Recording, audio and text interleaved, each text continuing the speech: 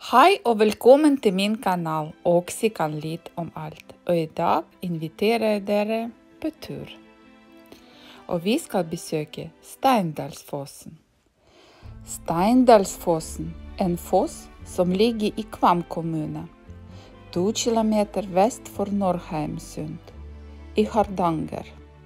Fossen er en av de mest besøkende i Norge. Fossen er 50 meter høy og er veldig vakker i mai og juni, når det er snøsmelting. Og nå inviterer jeg dere med meg, og vi spaserer bak fossen for å se fossen fra innsiden. For å oppleve kraft og skjønnhet fra baksiden av fossen.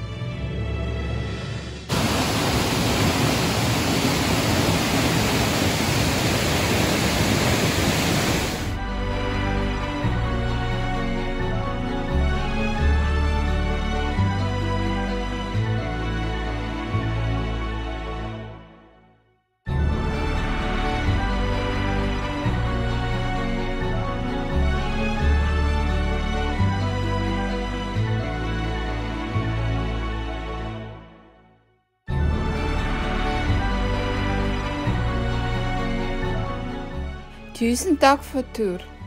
Hvis du liker video, sett like under video, og abonner på kanalen min, Oksi kan litt om alt.